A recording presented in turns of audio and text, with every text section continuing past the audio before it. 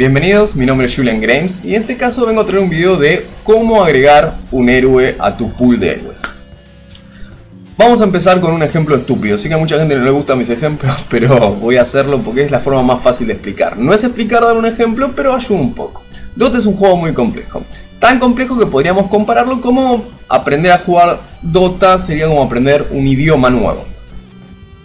Cuando vos empezás a aprender un idioma nuevo, habitualmente no es que vas a la librería, compras un diccionario de chino y te pones a leer de punta a punta. Necesitas lentamente ir agregando y estructurando y aprender justamente la estructura de las oraciones. Después vas agregando otras, otras situaciones que es propias del lenguaje, significado significante, cómo es que funciona el lenguaje de por sí.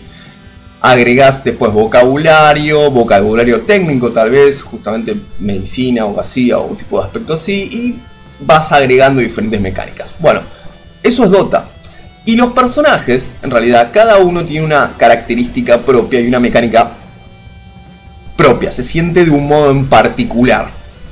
Yo hay veces que siento que algunos personajes son mi segunda piel, sobre todo si estoy jugando últimamente, es como, sí, es re fácil. Y cuando cambio de personaje, me voy a otro personaje, es, che, lo siento lento. No es que el personaje sea lento, simplemente porque tal vez es la animación de rotación, es algo distinto. Un personaje en Dota significaría aprender un nuevo vocabulario. O sea, agregar palabras dentro de este eh, idioma que estamos manejando y aprendiendo a jugar. Hay muchas formas en las cuales uno puede aprender o expandir un vocabulario o en lo que respecta a un lenguaje, aprender a interpretar tal vez ciertas características del lenguaje. En el Dota, cuando uno quiere aprender un héroe, lo recomendable es tratar de fraccionar la mecánica. Agarrar el héroe y mandarse a ranked de cabeza tal vez después de ver una guía o algo similar, o yo que sé, ver los datos de Otavaf o lo que sea, eh, a mi gusto es incorrecto y eso va a generar lo más probable cierto nivel de frustración. Lo recomendable es empezar en lo que sería, por ejemplo, tal vez desde acá. Desde acá, en, del personaje, podemos interpretar y ver los skills. Primero, lo primero, es interpretarlo desde afuera, de un aspecto relativamente teórico. Bueno, ¿qué hacen los skills? Más allá de que uno podría ya haberlo jugado. Yo al Sangre lo jugué muchísimo tiempo atrás, años atrás, hace muchísimos partidos que no lo estoy jugando. Y me gustaría agregarlo como cuarto. Entonces, bueno, vamos a ver. Sé qué hacen los skills, porque no soy un idiota pero no necesariamente sé qué hacen los skills. No sé numéricamente, por ahí no me acuerdo los, los cooldown, tal vez no me acuerdo cuánto tiempo. Eh, el, por ejemplo, el disable es un strong dispel, sí. Con strong dispel lo sacan, por ejemplo. Bueno, ¿cuánto cuesta de maná? ¿Cuánto es el cooldown? ¿Cuál es el stun inicial? Por ejemplo, hace muy poquito en 7.12 le modificaron los tiempos de stun. Que eso ahora mismo me estoy acordando porque está ahí, ahí aparece. Después de interpretar de este aspecto teórico, también habría que tratar de mirar los talentos. Lo que recomiendo es inmediatamente ir a demo. Para poder aprender los tiempos de skills, la animación tal vez de cada uno de los skills, el right click del personaje, por ahí necesitamos, yo que sé, en un partido normales, 30-40 partidos, debido a que tenemos que usar los skills para llevarlos a un punto donde se agreguen a nuestro cuerpo.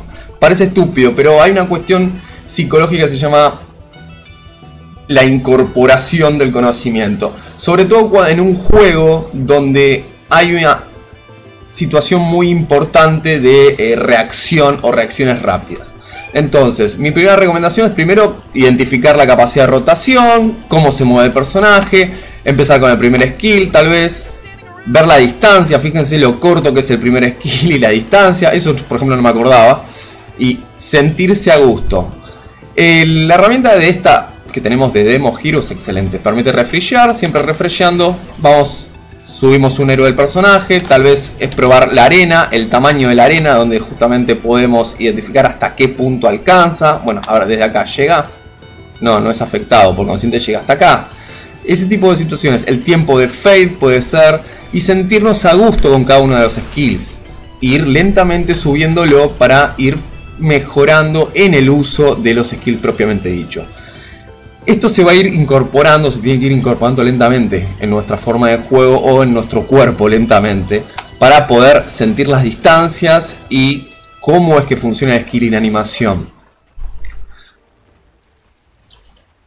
Para poder llevar o sea, ya sé que es medio aburrido decir, bueno, gasto 15 minutos en tratar de aprender el right click por ahí inicial del personaje, las distancias de los skills, tal vez de qué es capaz, de qué no es capaz, cómo es que se mueve, cómo es que rota. Esos 15 minutos de demo pueden ser bastante importantes porque puedes tardar entre 5 a 6 partidos tal vez eh, debido a la cantidad de skills que necesitas utilizar para que se te metan en la cabeza para eh, poder utilizarlos correctamente. Les recomiendo como primera instancia, parece aburrido, pero probar las diferentes cualidades que tiene el personaje, ir leveleando cada uno de los skills para ver cómo es que van cambiándose. Por, en, en el caso del Sunking yo me enfocaría más que nada en el burro de Strike y probar varias veces las distancias o calcular correctamente cómo es que funciona a medida que voy escalando el personaje.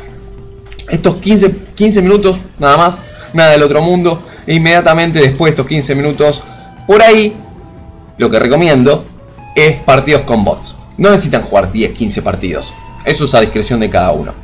Y desde un jugador que es versátil, yo soy versátil en el sentido estricto de que no es que sé jugar muchos personajes muy bien, simplemente manejo los personajes, si me cae un personaje lo manejo, no hay problema, no soy soberbio. Pero es por el mero hecho de que cuando estoy aburrido, internet no anda, está todo mal, entro con bots.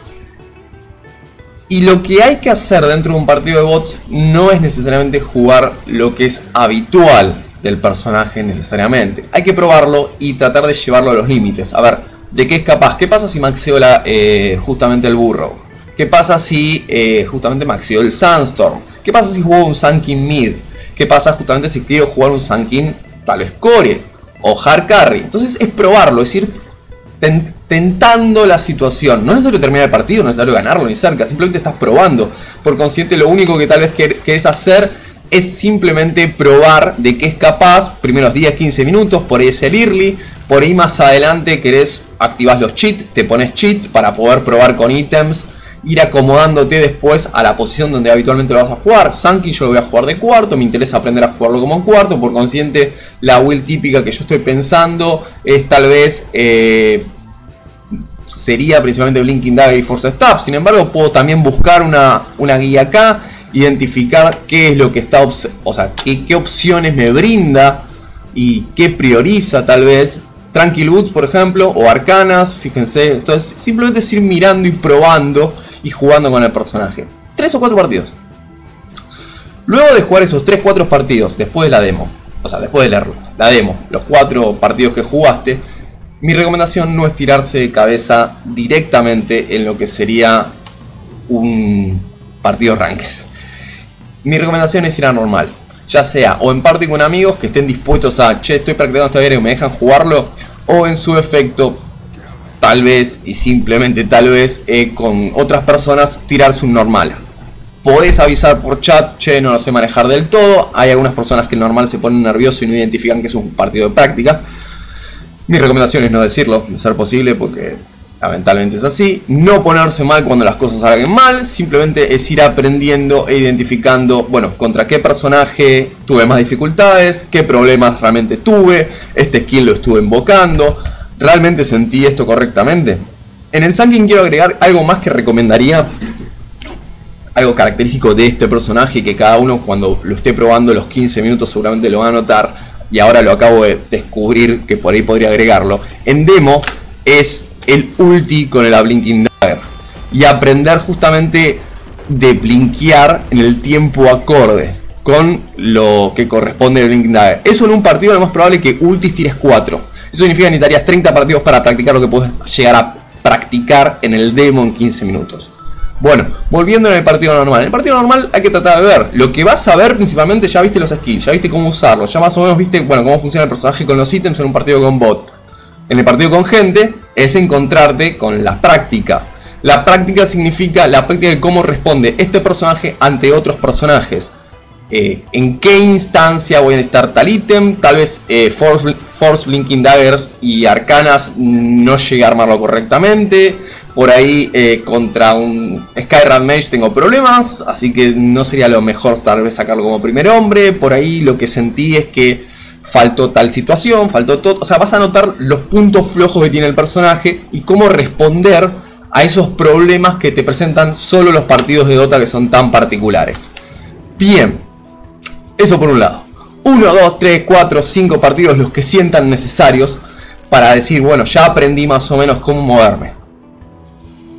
El siguiente punto es habitual que no lo hace nadie. Y es el punto de ir a buscar cómo es que juegan otros mejor que yo.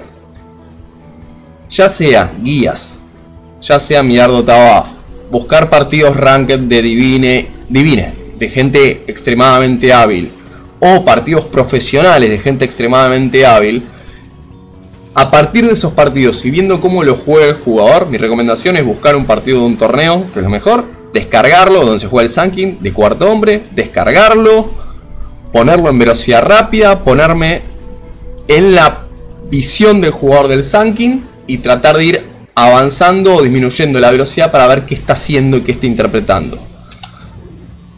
Hay que comerse algún partido profesional, hay que comerse alguna guía, hay que comerse algo para poder decir, bueno, a ver, lo que yo interpreté en el partido normal, lo que yo interpreté en demo, cómo que se usan los skills, qué utilidad tienen los skills, cómo se progresa el skill según determinada situación que tengo en la línea, puedo tratar de mirarla y ver reflejado para descubrir, ah, él decide ir al Force Staff antes de la Blinking Dagger, que es un caso que algunos profesionales hacen. En este caso la Blinking Dagger no le sirvió. Bueno, ¿por qué no sacó Blinking Dagger primero?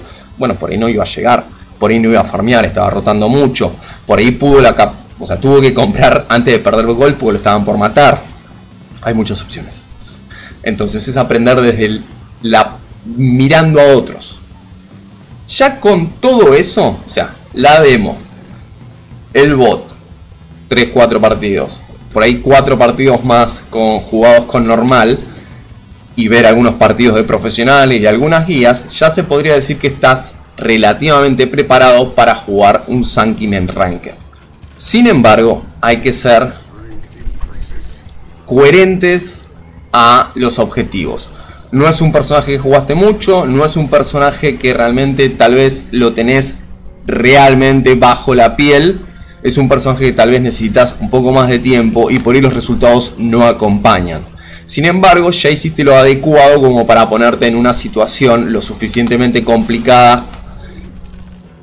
O o sea, sí, ya complicado en Ranked estás, por una cuestión de que el matchmaking es mucho más estricto, los jugadores habitualmente están mucho más presionados, los enemigos se están esforzando más, así que estás en un punto donde, bueno, lo que aprendí previo para prepararme al Sanking, vamos a ver qué tanto me sirve. Si noto que estoy haciendo mucha agua, puedo volver para atrás. Lo, lo mejor para volver para atrás es no necesariamente, depende de lo que sientan, ir de vuelta al demo, sino que principalmente ir al normal, a práctica y seguir practicando y seguir metiéndole horas al personaje hasta que se te meta debajo de la piel, hasta que se te haga tu segunda piel.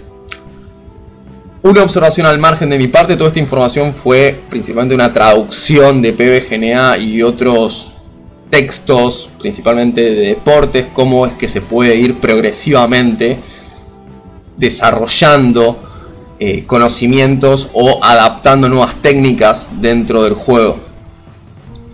Y esto es mío. Yo algo que hago habitualmente, porque juego muy pocos partidos ranked, antes de un partido ranked, si sé que voy a sacar un personaje, por ejemplo, últimamente un Spirit Breaker, entro en demo mientras estoy buscando y empiezo a right clickear, adaptarme y a girar con el personaje para sentirme a gusto.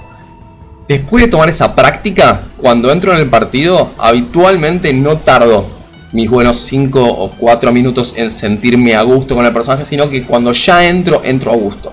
Entro bien, suelo tener mejor right click, suelo tener más facilidad para poder moverme. Es una herramienta que también está buena en lo que es Ranked porque y se nota esta instancia de metérmelo adentro, o sea, de sentirme parte del personaje. Más o menos esos fueron los puntos necesarios para poder agregar un personaje dentro del pool que ustedes tienen.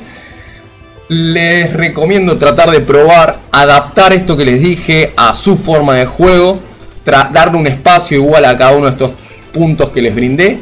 Y recuerden suscribirse, comentar, dedos para arriba, dedos para abajo, nos estamos viendo, hasta luego.